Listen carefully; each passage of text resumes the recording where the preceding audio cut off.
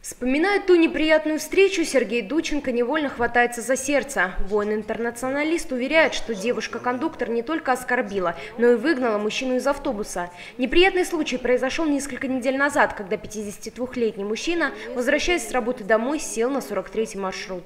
Но она попросила посмотреть копию удостоверения. Я ну, оригинал не таскаю, а копию. Ну и у меня эти удостоверения личности есть, все.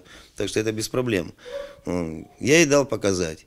Она подошла к водителю, посмотрели и начали надо мной издеваться на весь автобус. Что это было выдано, мол, копия ЦК КПСС при Советском Союзе, мол, ну, в общем, засунь ее куда-нибудь подальше или выкинь елки-палки. Она действительно.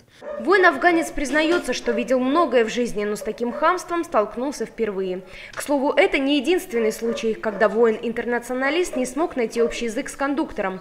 Платить за проезд мужчину заставляют и в одном из 69-х маршрутов. На 69-м автобусе пацан там молодой, лет 25.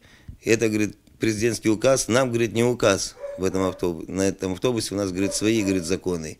И ваши книжки, и ваши удостоверения и льготы не действуют совершенно. Вот два автобуса с всего города мне попали с 83 -го года, вот так вот. И очень обидно. Как оказалось, деньги на бесплатный проезд в общественном транспорте городской бюджет больше не выделяют. Эту обязанность взяли на себя обслуживающие транспортные компании, которые принадлежат частным лицам. А потому требовать льготы на проезд пассажиры не могут. Слово «льготы» надо забыть.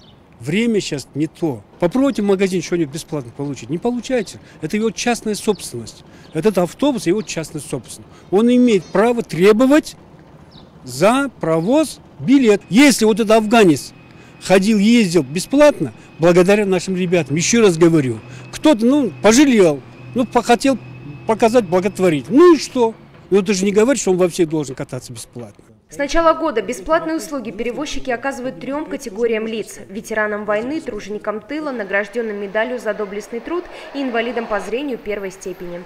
Воины-афганцы, чернобыльцы и жертвы Семипалатинского полигона в новый список не попали. Ксения Поленица, Константин Исупов, Ербол Махашев, информационная служба телекомпании «Утрар».